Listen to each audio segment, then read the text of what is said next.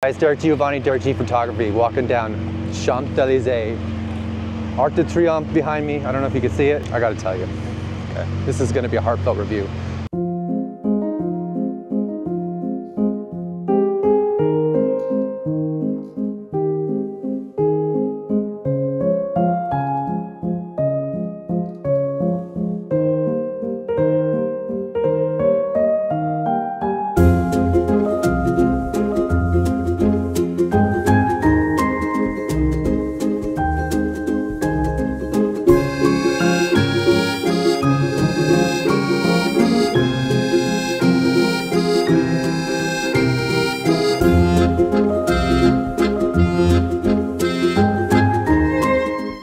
This Osmo Pocket. Okay, just go get one, $700, and get the creator combo. As far as the value for the price of what you get, it's amazing. Let me tell you why. I just experienced it, okay? Like when you are in a place like Paris, where there are people everywhere, there are people you may not trust that are in these crowds, and you're gonna constantly be thinking about your gear. Like I have my Sony I brought my a7R III and I love it, right? Uh, but I'm being protective of it and my lenses, right? So I'm only pulling out one thing when I pull out the Osmo, pull out the a7R III, and it does a great job. But I only use one at a time. But I think I this, today was the day where I realized just how amazing this Osmo Pocket 3 is. And let me tell you why. This time lapse and motion lapse photography that you get off of this thing is sick sick. And not only that, it's easy. And that is the important thing. It is so easy. Yeah, so it takes you like five minutes to learn about it. Check out this video about when I actually learned how to do it. I learned a little bit about it before I came here. It does take about five to 10 minutes to learn how to do it properly. But once you know it, oh my God. I got up to the front of the crowds at the Arc de Triomphe, okay? And I pulled this thing out I set it up. I had a I had an eight stop ND filter from Neewer. I bought it from Neewer. I didn't get the Freewell version because Freewell is a little bit more expensive. So I got the Neewer version. And you know the I don't know. I'm not it, it might be a little bit more green, a little bit more magenta, whatever. I don't really care. Uh, the Neewer product seems to do the job. That's all I care about. I'm not going to pixel peep the Neewer product. I actually loved it the 8-stop ND filter. I set it up for a 10-second time lapse. And the, but the thing was, and this is why I love it so much, is because it took me two minutes to get the thing on a tripod, to put it on the ground, to turn it on, to turn on the setting and go. Okay, let me tell you what you have to do when you have, heck, when you have a, well here's the thing, with motion lapse, I don't even know how you, I mean you have to get a special kind of tripod that turned mechanically. I don't even know how I would do it, okay? This thing just does it, right? Even time lapse, time lapse is so easy. You get this thing on the ground, takes, you know, it takes two minutes to set it up, takes two minutes to configure your time lapse. You press play and you go. Okay, I've seen people do similar time lapse photography with their cameras, and they can do it, right? They can do it, but it definitely takes still longer than two minutes for somebody that doesn't know what the hell they're doing, right? And for, it's gonna take you like, I don't know, like 10, 15, maybe even 20 minutes, I don't even know, maybe more. And the problem with that when you're in a place like this is that it's gonna make you look vulnerable, right? You don't wanna look vulnerable. You want that confidence when you're shooting, right? So it's gonna make you look more confident. Not only that, it's gonna make you feel safer in a place like this where there's a lot of things going on, right? So yeah, I'm convinced this Osmo Pocket 3 is no joke. Okay, and I just talked to this guy. I met this guy next to the Arc de Triomphe, and he was shooting Nikon, and he asked me about it. He's like, wow, that's pretty cool. So I showed him the time-lapse footage, and he's like, wow. And I told him, man, dude, just spend, I mean, $700 is not cheap, I get it.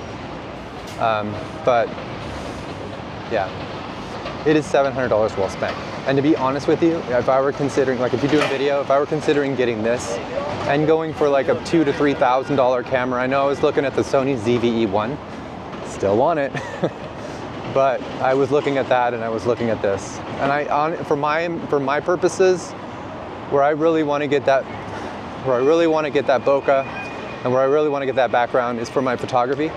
I'm a photographer at heart, so videography is new, new to me, right?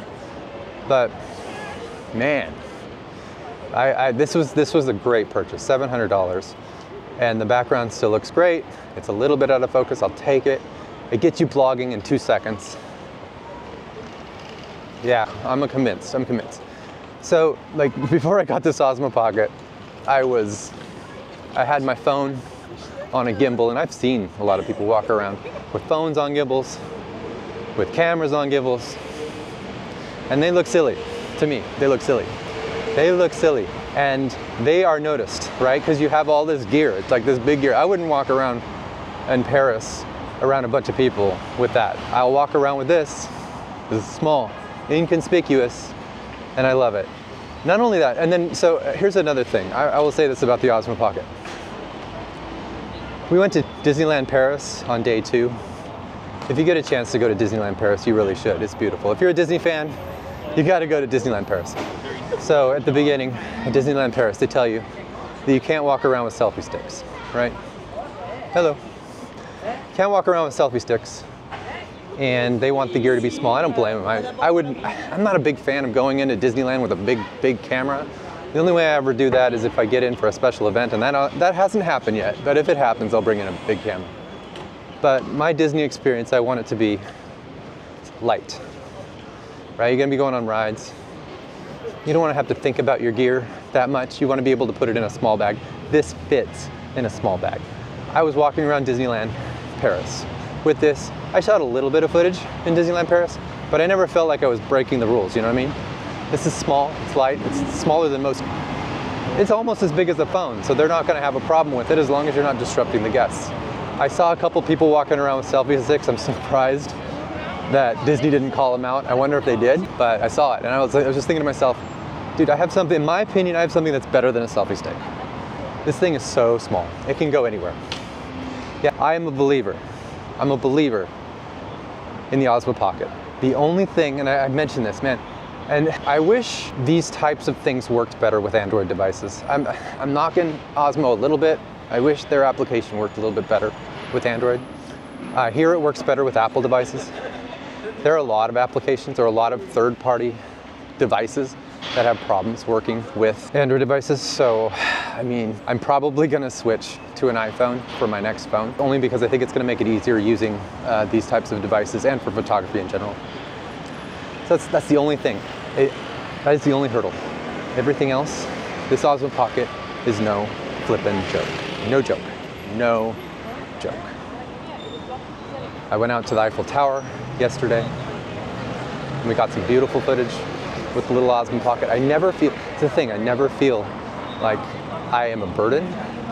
I always feel like, I mean, I saw people with big cameras out there. I had my big camera out there, and I, I switched them back and forth. Um, but when, I'm when I was taking video footage, B-roll, this is a B-roll beast, by the way. Took a ton of B-roll while I'm here. I know a lot of people are throwing praise at the Osmo Pocket 3, and this is just my praise. I mean, this footage speaks for itself. The vlogging's great, but the motion lapse and the time lapse is a game changer. Game changer. Um, you really need to, you, if you're gonna consider doing time lapse and motion lapse, I am a true believer that you need to go out and buy at least a six to eight stop ND filter to get that really cinematic look. Oh, check this footage out also. I didn't mention this. So uh, I worked with a model yesterday and we got some video footage. I don't remember what the ND filter, we did, we did slap something on. Probably like a four, maybe a four stop ND, so we could get a little more cin cinematic footage. So that was good. Um, but yeah, I mean, just this is my review. Yeah, Osmo Pocket. I am I'm a believer. They're doing things that photographers and videographers should be considering um, adding to their arsenal. Really easy.